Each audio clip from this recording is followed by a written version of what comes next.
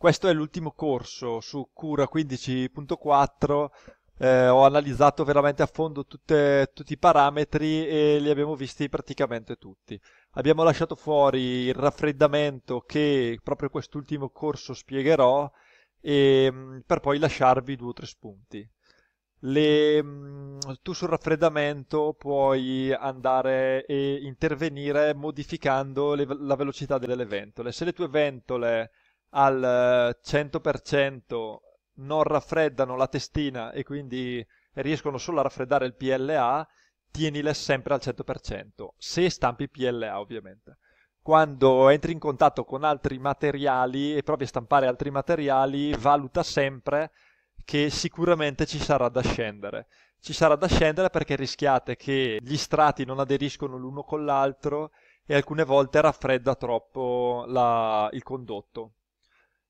Ci sono delle stampanti che ho usato, ehm, mi hanno mandato un estrusore nuovo e sull'estrusore montavano una ventola più forte, lavorando al 100% la- l'ugello si raffreddava, la macchina leggeva una temperatura più bassa eh, perché proprio l'ugello si raffreddava. Di conseguenza dovevo magari metterle al 50% o 60 o 40, dipende da- dalla pentola.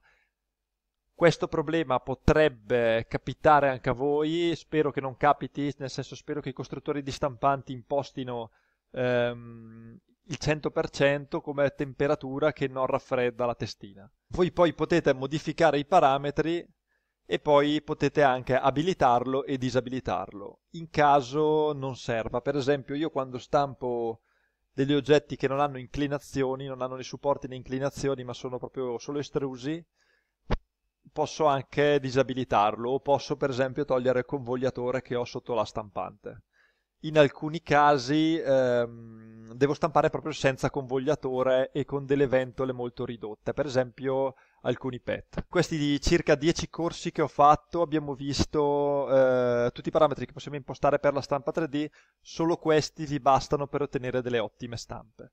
Io consiglio di guardarli una volta e di riguardarli applicando le cose che dico, ovvero quando a voi durante la generazione del G-code ins- vi insorge un problema, andate a vedere il corso specifico, magari che può essere per il supporto, o per il raffreddamento, o per le velocità, proprio per risolvere in modo rapido il problema che hai.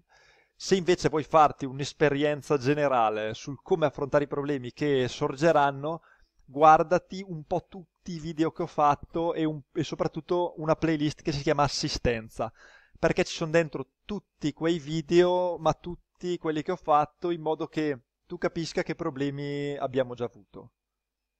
Dopo questo video mi prendo due settimane per organizzare tutto il lavoro che poi farò questa stagione. Mi piacerebbe, e è cosa che farò, mettere molti contenuti su come fare ad usare ehm, le stampanti 3D, in particolare suddivise per marca. È importante per me che le case che costruiscono stampanti formino e comincino ehm, a formare le persone sulla generazione dei G-code e sulla manutenzione ordinaria delle stampanti 3D. Condividi quest'ultimo video a qualche tuo amico proprio per fargli capire che dentro il mio canale c'è veramente tutto quello che può servire per ottenere delle buone stampe. Alla prossima!